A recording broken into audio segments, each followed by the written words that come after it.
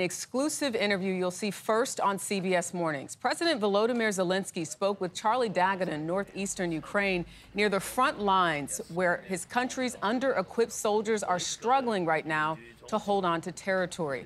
Charlie is with us from Kiev and has much more. Good morning, Charlie.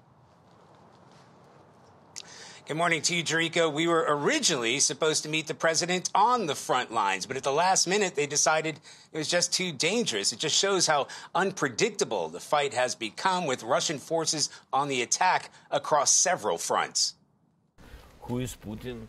What is we Russia? met up with what President Zelensky at an undisclosed location close to the what Russian border in the east. Bombed out buildings as a backdrop are easy to find here. Uh, Mr. President, I want to ask you, first of all, can you describe what the frontline fighting is like as we head into spring?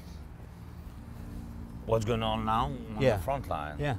Okay, so the situation is we stabilized it on the east. Mm -hmm. It's better than it was two months ago, two three months when we had a big deficit of uh, artillery ammunition, different kinds of weapon but he says they can't hold that line much longer without more military aid and now.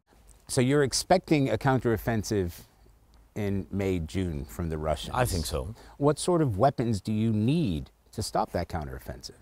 Number one is anti air defense and artillery shells. That's what we need. We joined the president on an inspection of vast new underground fortifications while lawmakers struggle over the decision to continue supporting Ukraine, do you think Russians are taking advantage? Росія це використовує 100%. Russia is using that 100%, not 50-50, 100%. We have almost no artillery remaining. Zelensky says he's aware the war in Gaza has diverted American attention and resources. Передусім, First and foremost, we understand that there is a humanitarian disaster there. But of course, it took attention away from Ukraine. It's a fact. And when you lose the attention from your region to other regions, then it is obviously good for Russia. Russia knows that the world's help and support is not focused on Ukraine now last month you said if we have American support, we will win. If we don't have American support, we will lose. It's true. Simple as that. Ukraine, Ukraine will lose. But it's not. But but it's not simple.